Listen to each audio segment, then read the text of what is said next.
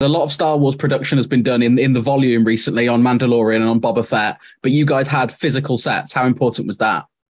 I don't know. We we all everyone working in this in this show, I think is, is pleased to have the opportunity to approach this the way we we shot films all all our lives you know uh, and our reference are shot on on locations and uh, that cinematic patience that gives you uh, being in a, an amazing you know spot to witness that you're also discovering you know as you're filming it it's it's just a different feeling i guess uh, and as an actor also interacting with with, with not just the real stuff, but with the clouds and the weather, and that brings a different energy on set.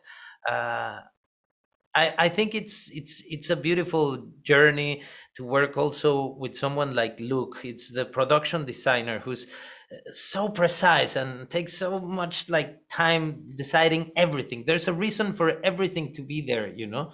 There is a reason and, and a use for for for everything on set. Therefore, as an actor, it's complete freedom. You can use anything. If you push a button, something happens. If you open a drawer, there's something inside. Uh, and that's amazing, man. It's it's again, it makes our jobs enjoyable and easier, you know. Yeah. It has its own map, it has mm. its own geography to it. Mm-hmm. Did it, so if you would run somewhere, it was very specific on where you should run to get somewhere, but technically I had he one of the directors told me once like, "Oh, just you could run wherever you want as long as you get to the stairs. And there's like three ways to get to the stairs. And he showed me the map.